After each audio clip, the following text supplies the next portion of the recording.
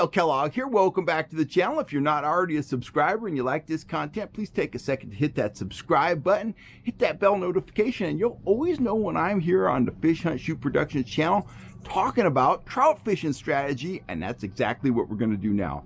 I'm guiding, I'm out on the water a lot, I'm making a lot of observations, and I'm going to pass those observations on to you guys in hopes of making you more consistent anglers. If you're more consistent, you're going to catch more and bigger trout throughout the year and throughout your fishing career. So let's get into it. Let's talk about trout and weather. Weather's very important, you know. Trout are, are a cold water species, so we find ourselves out targeting them a lot during the fall, during the winter, during the early spring, when the weather can be really variable.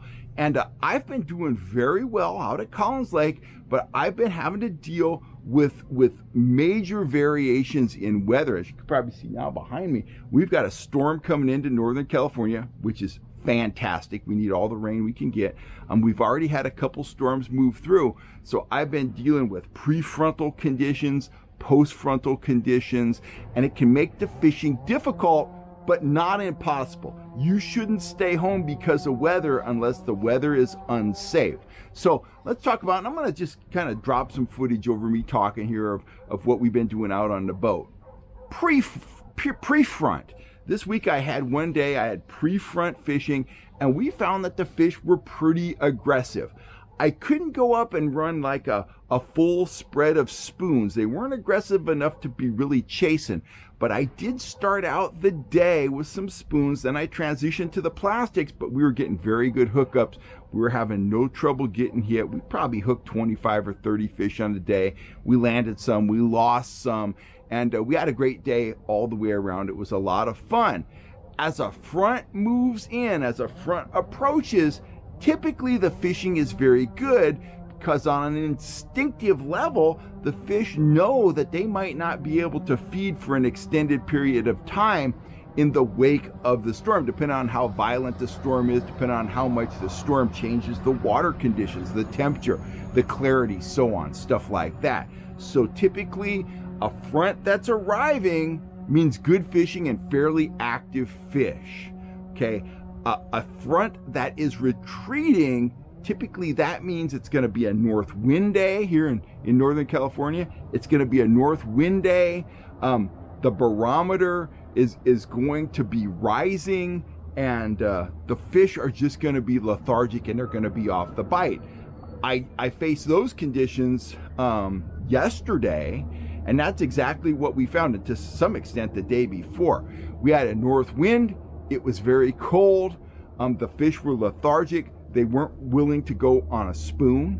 They weren't willing to go on flies. It was 100% small profile soft plastics. That's what the bite was.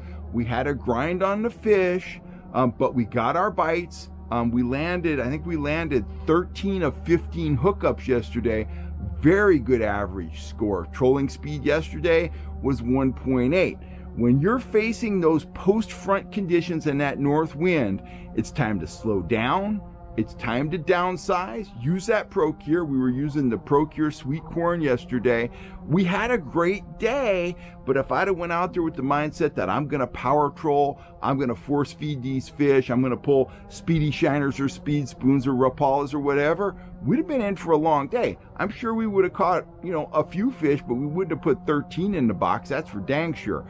So post front, the bites off, patience, slower, smaller, use the scent, use something that's got a small profile and erratic action, something that stays in the strike zone for an extended period of time.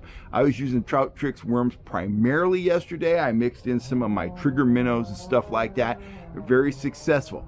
Very erratic presentation, very slim in profile and you know moving 1.8 sometimes down to 1.5 if i was going into the wind something that just stays in the strike zone for an extended period of time and gives the fish a target to really really key in on and really kind of tease them with.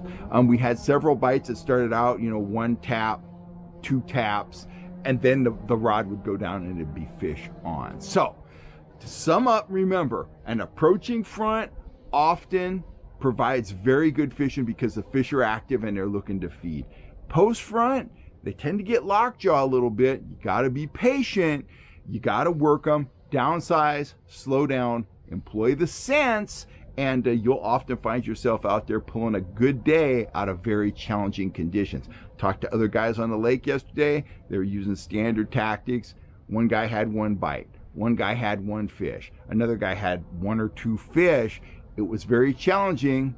We had 13 fish and a really good time. So that's all I got to say. If you're looking for trout gear, including my trout tricks, worms, all that and more, rods and reels and whatnot, or if you want to book a trip with me and you want to learn out on the water while we're catching fish, get on over to fishhuntshoot.com. Check out our store, check out our guiding calendar. There's a lot of information up there on rigging, all that kind of stuff and more. Anyway, I'm Cal Kellogg.